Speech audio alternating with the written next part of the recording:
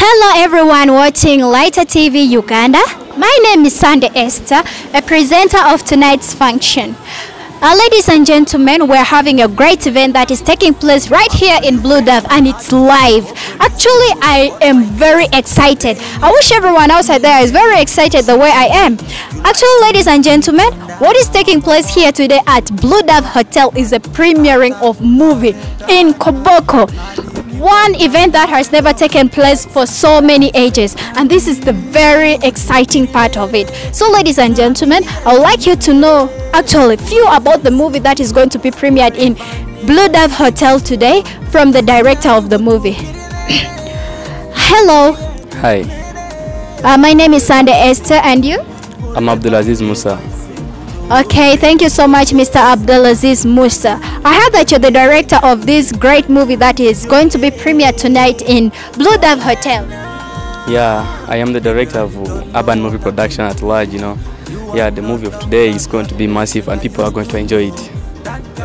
It's really, really, really so exciting that today we are going to watch something that is created out of cr- scratch in Koboko town. So, Mr. Director, can you tell us something small about the movie that is going to be premiered tonight? Yeah, the movie is like uh, entitled Tears of Pain and uh, the movie is all about like, uh, you know, child abuse is there and, uh, you know, like drug abuse, things which are happening just within the communities, you know. And uh, we are just doing it to educate the communities to show that these things are happening in the community and to show for them the way forwards. Yeah. Ah, Mr. Director, I'm really so excited to be authentic. This is the best thing ever. But I would like to know how suddenly did you become a director? Yet you look so young and genuine, someone who could even not direct anything. So I would like to know something about you more than expected because this one is more than expected from you. A young director directing a whole movie. For that is a season movie. I guess it's right, right? Yeah, it's a season movie. So, like, So, Mr. Director, so can I have to know much about you? Yeah, so I'm 19 and I'm still in senior 3. Uh, this year I'm going to senior 4 now. So, uh, d- being director is something which is in my dreams. Every day, just I go home, I write stories. I just I have that interest of being a director, and I like writing stories so much. So one day I came to realize that I can do it.